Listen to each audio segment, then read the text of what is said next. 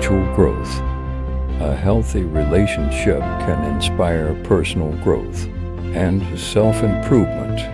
You learn from each other's experiences, viewpoints, and skills. Subscribe for more.